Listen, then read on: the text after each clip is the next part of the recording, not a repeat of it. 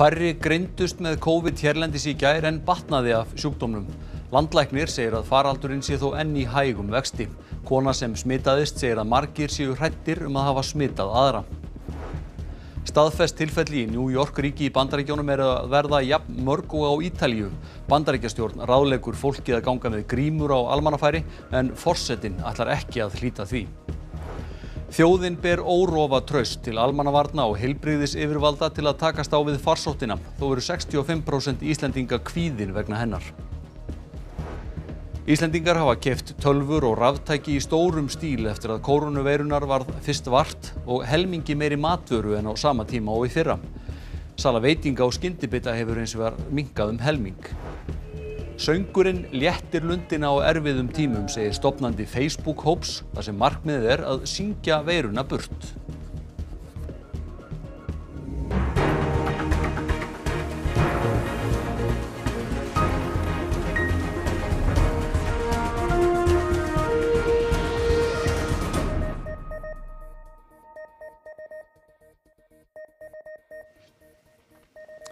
Gott kvöld. Fleirum batnaði af COVID hérlendis í gær en voru greindir með sjúkdóminn.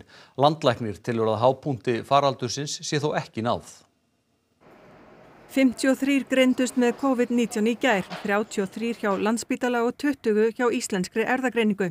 Þetta eru ívið fleiri en greindust daginn áður en hlutfall jákvæðra sína er svipað. Af þeim 20 smittum sem greindust hjá Íslenskri erðagreiningu voru 14 í vestmannaegjum. Alls eru þá 83 smitaðir í eigum. Þrjú smitt hafa greinst á hjókrunarheimilinu Bergi í Bólungarvík. Um fjórðungur íbúa bæjarins er í sótkví. Alls hafa sjö greinst síðasta sólarhingin á Ísafyrði og í Bólungarvík. Í fyrsta sinn frá því að faraldurinn hófst hérlendis fækkar virkum smittum á milli daga en fleirum batnaði í gær eða 60 en greindust með sjúkdóminn. Alls hafa yfir 400 náð bata. 42 eru á sjúkrahúsi, 11 eru á gjörgæslu og 9 í öndunarvél, eitt þeirra á Akureyri. Faraldurinn er enn í þessum hæga línulega vexti og við höldum að við förum að nálgast hápunktinn í greiningu smita en þá þurfum við að muna það að hápunktur í heilbriðiskerfinu kemur ekki fyrir en viku til tíu dögum síðar og að álægi mun haldast innan heilbriðiskerfið því að líka þeir sem liggja inni þurfa að vera þar um töluverðan tíma. Össur hefur útbúið sérstaka fluttnings- og einangrunnar hjúpa fyrir landsbítalan til að flytja COVID-sjúklinga milli landsluta. Landsbítalan hafði þegar pantað fleiri hjúpa frá Byrkja en afhendingartímin var óljós. Því var leitað eftir aðstóð Össurar. Búnaðurinn var hannaður og framleitur eftir óskum spítalans. Kona sem hefur náð bata eftir COVID segir að það hefur verið erfitt að greinast með sjúkdóminn og því hafi fyllt flóknar tilfinningar. Hún veit ekki hvar eða hvernig hún smitaðist og hvetur alla til að sækja smitrakninga forrit almannavarna. Sara Dögg greindist frekar snemma í faraldrinum. Hún fór í sínatöku hjá Íslenskri erðagreiningu en hún hafi verið slöpp í vikunni áður en hún greindist. Hanna grunaði þó ekki að hún væri með COVID. voru fáir búin að greinast og það var skýða fólk í Erlendis mest og ég hafði ekki verið þar þannig að þetta var svolítið svona mjög undarleg tilfinning og, og svo líka bara að fara gegnum í raun og veru allar þessar tilfinningar bara gerði ég allt rétt, var ég ekki búin að hlusta ná vel, uh, fór ég ekki örgulega eftir allir fyrirmælunum og svo bara allir sem heldust svo lestinni og fór í sóttkvína, það, það var mjög töff í raun og veru.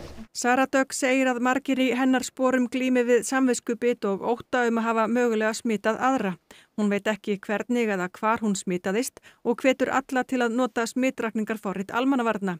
Það geti verið erfitt að muna hverja maður hafi hitt, jafnvel marga daga aftur í tíman eins og í hennar tilfelli.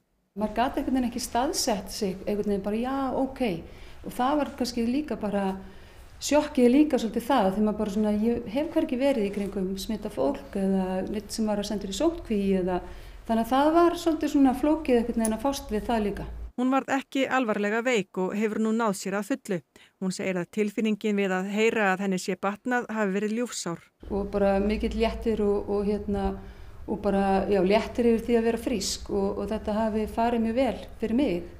Uh, á sama tíma er fólk að deyja og það er bara svona, þannig að þetta er rosalega svona krefjandi tímar og tilfinningar eru alls konar og, og maður auðvitað er með samlíðan með öðru fólki sem er veikt og, og hérna, er að fást við þetta mjög alvarlega. Bandaríkjastjórn mælist til þess að fólk gangi með grímur á almannafæri. Forsetin ætlar þó ekki að fylgja þessum tilmælum. Borið hefur á tregðu hjá sjúkrahúsum við að leifa hjúgrunarfræðingum að nýta þann hlýfðarbúnað sem er til. Bandaríkjaforseti held sinn daglega blaðamannafundi í gerkvöld þar sem hann tilkynnti um tilmæli sótvarnastofnunar Bandaríkjana. The CDC is advising the use of non-medical cloth face covering as an additional voluntary public health measure. So Hann ætlar hins vegar ekki að hlýta þessu sjálfur. I think uh, wearing a face mask as I greet presidents, prime ministers, dictators, kings, queens, I don't know, somehow I don't see it for myself. I just, I just uh, Alþjóða heilbriðismálastofnunin telur enga vernd fólkna í að vera með grímur. Ástandið er enn alvarlegast í New York ríki. Þar hefur ríkistjórin varað við því dögum saman að öndunarvélar gætu verið á þrótum á næstu dögum en í dag tilkynnti hann að hann hefði fengið þúsund að gjöf frá Kína. Tilfellin í ríkinu eru að verða jafn mörgu og Ítalíu, eru nú tæplega 114.000. By the numbers, we're not yet at the apex. We're getting closer. Depending on whose model you look at, they'll say four, five, six, seven days. Hjúkunarfræðingar hafa víða í bandaríkjunum líst yfir áhyggjum af auknu álægi vegna stöðunar. Nú hefur bæst við trægða sjúkrahúsa til að nota þann búnað sem er til, sem hjúkunarfræðingar segja hættulega. Our N95 masks are under lock and key in some units. We actually need to call security to come up and release our personal protective equipment. if we're silent carriers because we're not adequately protected and we're carrying it around the community, it's not doing anything for anybody. Veðurstofan hefur gefið út appelsínugula viðvörun fyrir nánast allt landið. Nú er þegar farið að kvessa verulega viða um land og hefur vegum veginum milli Seljalandsfoss og Víkur verið lokað sem og veginum um Þrengsli og Helliseiði. Björgunarsveitirnar á Kvolsvelli og í Vík voru kallaðar út síðdeis til að koma ökumönnum til aðstóðar á Sólheimasandi. Þá hefur vegum á Norðurlandi og Vestfjörðum verið lokað vegna óveðus og ófærðar. En þá ætlum við að skipta yfir á Magnús Geir Eyjálsson, fréttamann sem ætlar að ræða við Theodor Freyr Herfarsson veðurfræðingum þennan kveld. Já, appisningul viðvörun nánast yfir all landið, Theodor. Því það að vera jafn mónt viður allstaðar eða er einhver staðir sem verða verð úti en aðrir? Já, ég meina, eðlilega er alltaf ykkur aðeins eðl, svona munur á, á landsvæðum og jafnvel innan svæða sko, en, eh, en við getum sagt að það er samt sem að það er engin landsluti sem sé að sleppa út úr þessu veðri eins, eins og það lítur út núna. Fylg, fylgir þessu mikil úrkoma? Já, það er tölugur úrkoma sem fylgir þessu og náttúrulega í þessum vindi þá, þá erum við að tala um mjög grimt tríðaveður sem, sem að gengur yfir líka þannig að ferðarlega og svona geta náttúrulega orðið mjög erfið og, og, og eðlilega kannski bara að fólk á ekkert að vera á, á, á þeim brókunum að vera, vera þægilegst eitthvað í þessu veðri. Hvenær er vona að veðri gangi yfir? Það byrjar að bæði að hlána og, og, og læja austalands svona í fyrramáldir að fara að halla undir hádegi og uh, það færi síðan smám saman uh, vestur yfir landið. Síðast mun, mun, uh, mun þetta veður ganga niður á norðvesturhóttinu og það mun gera það þar annað kvöld. Og svo kannski spurning sem landsmið býða eftir, hvenar kemur vorið? Já, vorið kemur uh, vantarlega fljótlega en við sjáum sjálfsagt nokkra svona vorlega daga á, á næstunni en, og hérna allan að mun hærra hittast þegar við erum að glíma við núna. Takk fyrir það Theodor og þú fer betur yfir þetta í eftir fréttir en við segjum þetta gott af meðrunu í bili. Já, takk fyrir það. Sérfræðingur í tölvu öryggismálum segir að netglæpum hafi fjölgað mikið eftir að COVID-19 faraldurinn hófst. Tölvu þrjótar nýti sér meðal annars hræðslu fólks til að komast yfir lekilnúmer og greiðslu korta upplýsingar. Tölvu og netnótkun hér á landi og annar staðar hefur aukist mikið eftir að COVID-19 faraldurinn hóst Samkomubann víða um heim hefur gert það verkum að tugir miljóna nýta sér neti til að sinna fjárvinu. Á sama tíma hefur fólk í síöknum mæli verið að sækja sér upplýsingar um sjúkdóminn og útbreiðslu hans. Lauruglan á höfuborgarsvæðinu byrti nýlega ítrekkun til almennings um að vera vakandi gagvart tölvuþrótum sem vilja nýta sér þetta ástand. Fólk er meðal annars vara við því að kaupa hluti á netinu sem eru uppseldir víða um heim og einni við því að deila óstaðfestum fréttum. Anton Már Egilson, forstuðumar öryggislausna hjá upplýsingafyrirtækinu Origo, segir að netglæpum hafi fjölgað verulega á undanförnum vikum. Það er alltaf af, af, af glæpum í gangi tengt, ástandinu. Það hafa verið sett upp um 4.000 vefsvæði síðustu vikum sem að hafa COVID í titlinum og 3-5% af þessum vefsvæðum þau eru sett upp í, í sviksalunum tilgangi. Johns Hopkins háskólan í Bandaríkjunum hefur haldið út í vinsælli síðu um útbreyslu sjúkdómsins. Tölvutrjótar kom upp svika síður sem eru alveg eins nema þar voru notendur blekti til að smetla á ákveðna hlekki þannig að tölvu þeirra urðu berskjaldar fyrir gagnastuldi. Þá eru einni dæmum gerfi netverslanir sem bjóða læknabúna til sölu. Það er mikið verið að setja upp af raunin bara vefverslunum sem er ætlað að selja fólki einhvers konar varnir eða grímur eða, eða sínatökupinna eða, eða hvað sem er og það er engin vararunni þar á bakvið. Það er einhverju verið að stela greiðslu upplýsingum. Anton segir mikilvægt að fólk passi vel upp á öll öryggismáli í tengslu við netnótkun. Það er verið bara sem dæmið að vera að dreifa, dreifa tölvupóstum með viðhengjum sem er látið nýtt út fyrir að koma frá alltíða heilbriðismálastofnunni og PDF-skjöl um, um, um leiðbenningar í, í kakvart veirunni en, en PDF-skjálnur er einhverju alltaf til þess að setja trójuhast inn á, á vélina.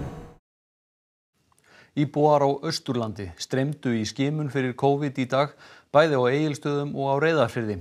Uppbókað varði í skimunina á skömmum tíma, síni verða líka tekin á morgun og á mánudag í samvinnu heilbriðisstofnunar Östurlands og íslenskrar erðagreiningar sem sendi 1500 sínatöku pinna austur því fara 14% austfyrðinga í skimun. Aðeins sjö tilfelli hafa greinst á Östurlandi, öll á fljótsdals héræði og 81 er í sótkví. Niðurstöður skimunar verða byrtar á helsuvera.is og ringt í alla sem greinast með veiruna. Sænska ríkistjórnin hefur lagt fram tillögu um aukin völd til að geta brugðist hraðar við útbreiðslu COVID-19. Stjórnmálafræðingur í Svíþjóð segir orðum aukið að Svíjar hafi brugðist setna við en aðrir. Ísland hafi þó gengið einu til tveimur skrefum lengra. Á meðan fjöldi þjóða hefur beitt útgöngubanni og öðrum slíkum ráðstöfunum til að verjast COVID-19 hafa Svíjar gengið öllu skemur og leift margt sem er bannað annar staðar. Til að mynda var það fyrst í þessari viku sem samkomubann var skert úr 500 manna hámarki í 50 sem þó er ríflegra enn í flestum öðrum löndum och það hafi ekki einu sinni allir farið eftir því. Är det inte lite fler än 50 här idag? Jo, men som vi har tolkat det så gäller inte de restriktionerna restauranger och barer. Jag kan inte på något sätt ha en verksamhet om jag bara ska ha 50 personer här. Stjórnmálafræðingur í Svíþjóð segir slagan þó ekki jafn mikið nú margir vilji meina. Það eru vissulega takmarkanir hér og ég held að þetta sé orðið með aukið. Til dæmis háskólum og framhaldsskólum var lokað á svipum tíma á Íslandi. Takmarkanirnar séu settar fram sem tilmæli frekar en pólitískar ákvarðanir. Ríkistofnanir hafi mikið sjálfstæði og erfitt sé fyrir stjórnvöld að valda yfir þær. Gunnhildur bendir á að nokkur lén hafi greipið til aðgerða áður en sænsk stjórnvöld gerði það, til dæmis takmarkað heimsóknir á hjúgrunarheimili. Það hafi til dæmis Stokkólmur, þar sem tilfellin eru flest, ekki gert. Líðhelsustofnun hefur, já núna á undarhörnum dögum sagt að það, það gæti verið, að þeir, að þeir sjá þetta sem að þeir hefði þurft að bregðast fyrir við uh, þegar kemur að eldstu aldurshópunum þar sem að eru mikið um smitt á elli heimilnum í Stokkólmi. Stokkólmur hefur nú líst yfir neyðarástandi. Þá hefur sænska ríkistjórnin lagt fram tillögu sem gefur henni aukin völd án aðkomu þingsins. Rökin eru þau að grípa þurfi hratt til aðgerða til að koma í veg fyrir smitt. Gunnhildur býst við að það verði samþygt og að frekari takmarkanir verði settar. Það er nú bara stutt til dæmi síðan að skíðasvæðum var lokað hérna í Svíþjóð og það er alveg í pípunum að grunnskólanum verði alveg lokað. Ég myndi segja að þetta væri svona, að Ísland væri svona einu til tveimur skrefum á undan. Nær allir landsmenn treysta heilbriðis yfirvöldum til að takast á við farsóttina. Fólk hefur miklar áhyggjur af efnahagslegum áhrifum hennar og 90% telja sig hafa fundið fyrir sjúkdómseinkennum. Þetta má lesa úr þjóðarpúlsi Gallups þar sem kannad var viðhorf fólks til atriða sem tengjast faraldrinum. Niðurstöður konunarinnar sína að rúm 32% landsmanna óttast smitt af COVID-19. Í byrjun februar þegar enginn hafði enn smittast hér á landi óttuðust rúm 20% að smittast af veirunni. Nú þegar rúmlega 1400 manns hafa smittast óttast 8% landsmanna enn mjög lítið að smittast. Þrýra hverjum fjórum landsmönnum hafa miklar áhyggjur af efnahagslegum áhrifum farsóttarinnar. Þó virðist sem dreigið hafi úr áhyggjum fólks eftir að aðgerðapakki ríkistjórnarinnar var samþyktur á alþingi í byrjun vikunar því í síðustu viku hafðu 80% miklar áhyggjur af efnahagnum. 86% landsmanna hafa breytt vennjum sínum mikið til að forðast smitt en fyrir hálfu mánuði hafði innan við helmingur landsmanna breytt vennjum sínum. Nær allir landsmenn treysta almannavörnum og heilbriðis yfirvöldum til að takast á við COVID-19 og 75% landsmanna treysta ríkistjórnunu til þess að takast á við efnahagslega áhrif farsóttarinnar og svipar hlutfall landsmanna treystir almennt umfjöllun fjölmiðla. Tæp 90% þjóðarinnar telja sig hafa fundið fyrir sjúkdómsenkjönum. Þrátt fyrir að svo tala virki frekar há, þá fer þeim þó fækandi. 65% aðspurðura segjast finna fyrir kvíða vegna COVID-19 og þeim hefur fjölgað nokkuð. Í þessari viku segjast 18% aðspurðura vera í sjálfskeipari sótkví og hefur þeim fjölgað mikið á síðustu teimur vikum. Um miðjan mass voru 4% í sjálfskeipari sótkví. Ef litið er til afstöðu eða hegðunar fólks eftir því hvaða stjórnmálarflokka það stiður, má nefna að nær allir stuðningsmenn vinstri græna hafa breytt vennjum sínu mikið til þess að forðast smitt og mælanlegt vantröst gagvart almannavörnum og heilbreyðsíðurvöldum mælist einungis hjá stuðningsmönnum miðflokksins en 7% þeirra segjast treysta þeim illa. Konun Gallup stóði yfir frá því á mánudag fram til 50 dags. Í úrtakjunu voru 1486 og svarhlutvall var 55%. Kér Starmer var í morgun kjörin nýr leiðtói breska verkamannaflokksins. Starmer hefur sittið á þingi fyrir flokkin frá árinu 2015. Hann var talsmaður brexit-mála hjá verkamannaflokknum en var alltaf á móti útgöngu breyta úr Evrópusambandinum. Starmer sigraði með yfirburðum hlaut 56% atkvæða eða ríflega tvöfalt fleiri en svo sem á eftir honum kom, Rebecca Long Bailey. Starmer baðist í seguræðinni afsökunar og gýðingahatri innan flokksins sem forveri hans Jeremy Corbyn hefur verið sagaður um að kynnta undir. Neyslu minnstur þjóðarinnar hefur gjör breyst frá því kórunuveirunar var fyrst vart hér á landi. Sala tölvubúnaðar og ráftækja hefur aukist mikið með við sama tíma í fyrra og maturu vestlun sömu leiðis. En sala veitinga og skyndibita hefur snar minkað. Þetta kemur fram í gögnum sem meninga tók saman fyrir fréttastofu og byggjast á ópersonu greinanlegum innlendum kortafæslum. Sala á tölvubúnaði og ráftækjum tók mikinn kipp eftir að fyrsta smitið greindist þann 28. februar. Fyrstu tvær vikurnar í mars var salan 30% meira en á sama tímabil í fyrra og í fyrstu viku samkomiðbansins jógst hún um 50%. Tugir þúsunda vinna nú heima og hafa tölvuveslanir fundið fyrir mikill aukningu í sölu tölvubúnaðar af þeim sökum. Það má sjá greinilega aukningu í sölu í apotekum strax í vikun eftir fyrsta smitt þegar fólk var meðal annars að kaupa upp allt hansbritt á landinu. Fyrstu þrjár vikurnar eftir að fyrsta smittið greindis var salan 25% meiri en á sama tími fyrra. Sala matvöru hefur verið mun meiri en á sama tími fyrra. Í vikunni eftir fyrsta smitt tók hún mikinn kipp og jógst svo ennþá meira í vikunni fyrir samgómiðbann þegar hún var 50% meiri en á sama tími fyrra. Íslandikar heldur þó áfram að fylla á hillunar í eldúsunum sínum því að vikunni á eftir var hann ennþá meirinni fyrra, 25%. Aðteglisvert er að færslur eru þó álíka margar og árið áður því fólk var að kaupa mun meira í hverjum innkaupum en venjulega. Vikuna eftir að samgömmubannið tók gildi, fækkaði færslum, þeim skiptum fækkaðum fjórðung sem fólk fór í búðina, þótt salan hafi aukist um rúm 10%.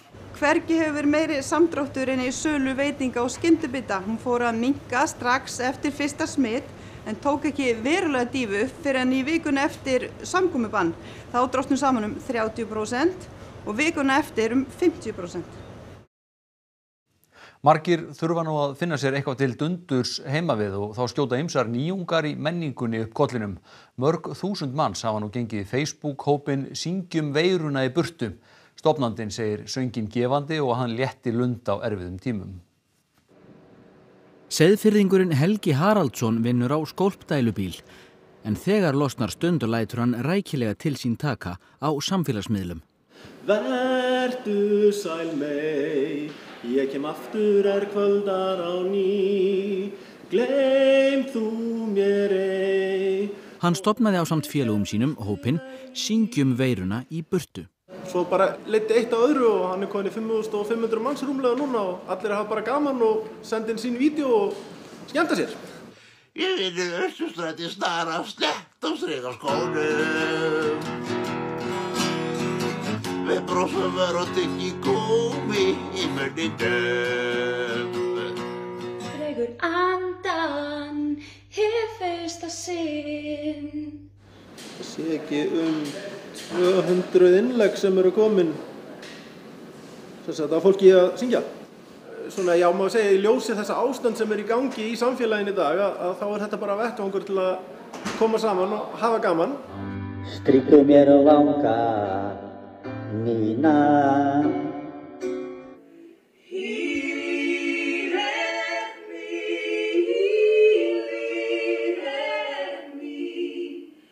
Innleikin hrúast inn og jafnvel er sungið á táknmáli.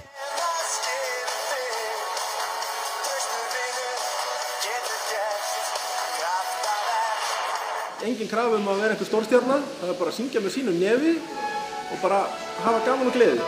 Einni sopna skolliska með skottið undir vanga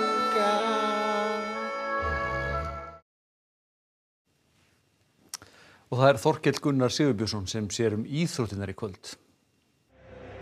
Birkir Bjarnason, landsliðsmaður í fótbolta, segir erfitt að hugsa um fótbolta á meðan um þúsund mann stegja daglega í næsta nákrenni við hann.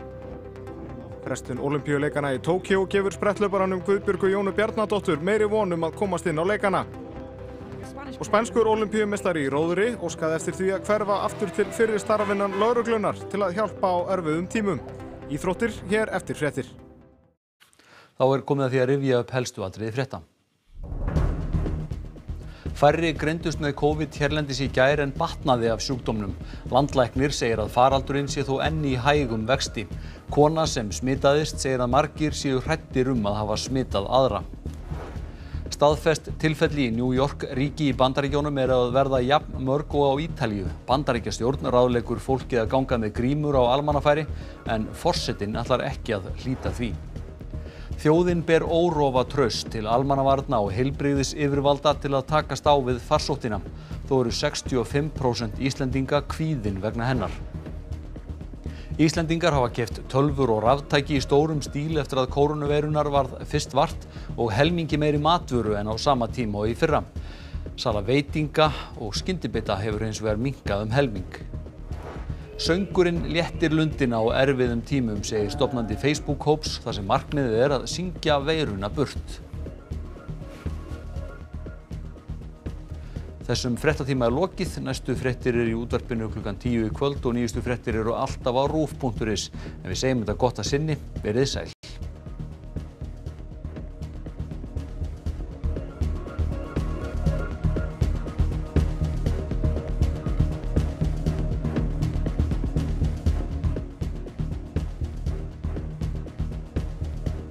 Á RÚF í kvöld.